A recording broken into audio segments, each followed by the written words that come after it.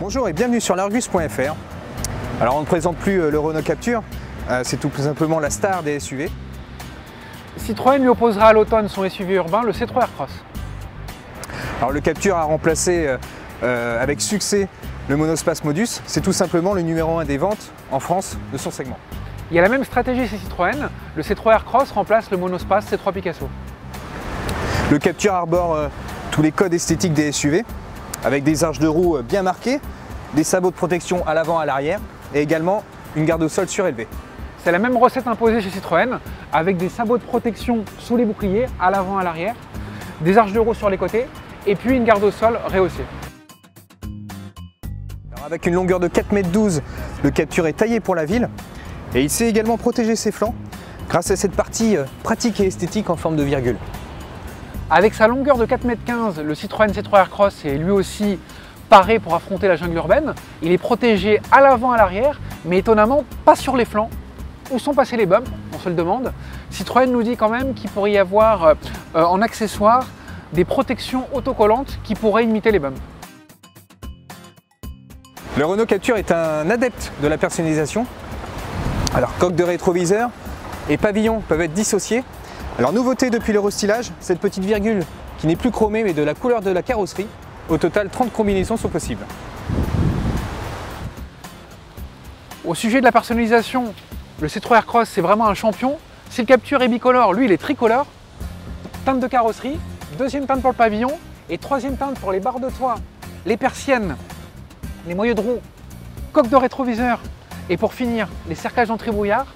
Il y a jusqu'à 90 possibilités de personnalisation et avec ça, il y a vraiment de quoi de prendre le Capture de haut. Alors à l'intérieur, c'est quand même la couleur noire qui prédomine. Euh, néanmoins, la planche de bord est plutôt agréable avec des formes douces et rondes.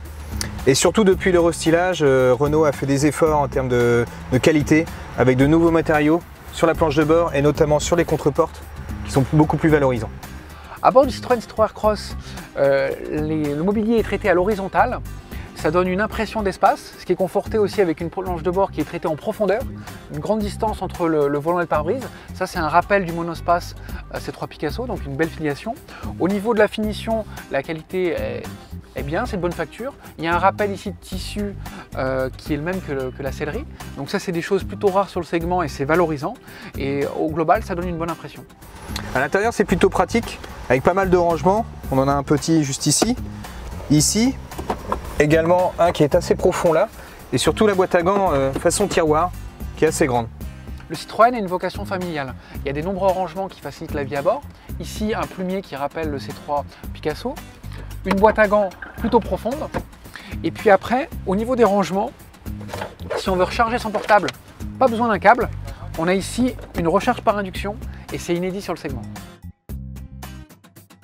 Au niveau technologique, euh, on retrouve euh, le système Airlink, voire le système Airlink Evolution sur l'initial Paris, avec l'écran tactile de 7 pouces qui est plutôt bien positionné.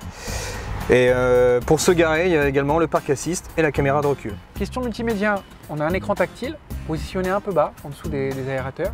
Diagonale efficace de 7 pouces, 9,7 si on rajoute les push autour. Ça c'est toujours un petit peu la, la polémique chez Citroën. Et puis on a un GPS 3D connecté, les systèmes euh, Android Auto, CarPlay, donc une, une connectivité euh, euh, toujours à, à jour. L'inconvénient, c'est que pour ce qui concerne les commandes de climatisation, il faut toujours passer par l'interface tactile. Le Citroën C3 Aircross prend une longueur d'avance sur la concurrence avec ses nombreuses aides à la conduite. Il y a notamment un affichage tête haute en couleur, le parc assist, la reconnaissance des panneaux indicateurs de vitesse et puis l'aide au freinage automatique d'urgence. SUV dehors mais monospace à l'intérieur. On est plutôt bien installé à bord du, du Capture. Alors on a toujours la sellerie euh, déhaussable, la banquette coulissante, mais en une seule partie. Et depuis le restylage, on peut également bénéficier du toit fixe panoramique. Le Renault Capture se distingue avec sa banquette coulissante. Eh bien, le C3 Aircross va encore plus loin parce que lui, il propose une banquette coulissante qui est deux tiers, un tiers. À l'arrière du C3 Aircross, il y a de la place, c'est habitable, il y a de la lumière avec les persiennes transparentes ou pas si on met les stores pour les enfants. Et puis, on va voir aussi qu'il y a un toit ouvrant. Le C3 Picasso avait un toit en verre panoramique, mais il était fixe. Avec le C3 Aircross, le toit il est toujours panoramique, toujours en verre, mais maintenant il est ouvrant. Le coffre du Capture offre une ouverture bien carrée et un double fond. En revanche, le seuil de déchargement est un peu trop élevé. Son volume de coffre varie de 377 à 455 litres en 5 places et jusqu'à 1235 litres d'enquête rabattue. La soute du Citroën est plus profonde et le siège passager rabattable en tablette permet d'engloutir un objet long de 2,40 m. Le volume du coffre du C3 Aircross oscille de 410 à 520 litres en 5 places et extensible jusqu'à 1289 litres banquette rabattue. Le Renault Capture, c'est deux moteurs à essence et deux diesel. Le Citroën C3 Aircross, c'est trois motorisations essence et deux motorisations diesel. Alors ici, pas de transmission 4x4, en revanche un système de motricité renforcée Extended Grip. C'est pareil pour le Citroën, pas de transmission intégrale, mais la motricité renforcée Grip Control.